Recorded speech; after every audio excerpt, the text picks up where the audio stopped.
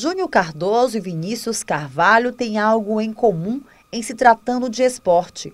Encontram nos ginásios poliesportivos um local para jogar futebol com os amigos durante a noite.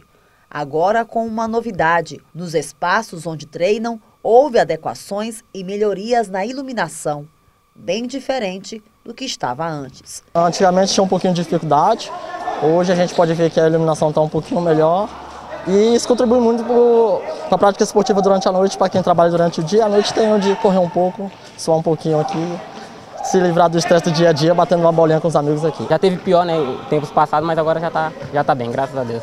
Satisfeita então com essa melhoria na, na instalação do ginásio?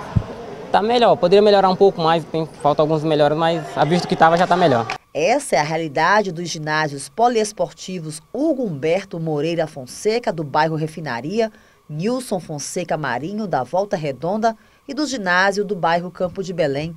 O investimento no quesito iluminação é apenas parte de um projeto da Secretaria Municipal de Esporte em melhorias na estrutura desses locais.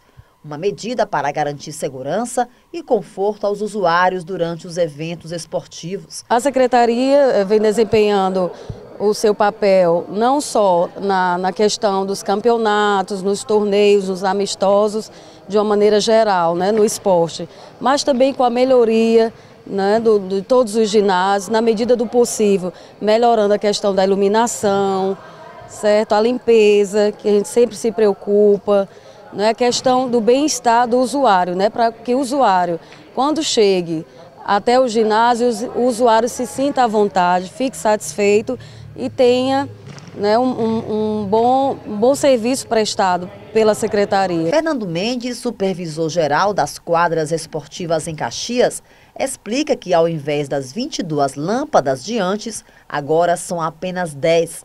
E olhe que o resultado ainda ajudou a reduzir os gastos com a energia. Hoje nós já contamos já com três ginásios com a iluminação completa e estamos aí finalizando mais um, correto? Esse projeto ele tem duas coisas importantes. Primeiro, a questão dos usuários, né, melhoria na iluminação, também a questão da segurança e também na, consiste também na substituição de lâmpadas antigas por lâmpada nova, é, melhorando assim, além de melhorar a, a, iluminação, também nós vamos ter um, um consumo, uma redução de consumo na conta de energia. De acordo com a secretária, em breve novos ginásios vão receber reforma em toda a sua estrutura a exemplo do ginásio poliesportivo Mundico Santos, na Nova Caxias. E o ginásio Mundico Santos, né, nós estamos também trabalhando nesse sentido da iluminação, da limpeza de uma maneira geral, pintura e também com a questão da urbanização. Nós vamos também fazer esse diferencial, começando por lá, pelo Mundico, e vamos também implantar em outros ginásios.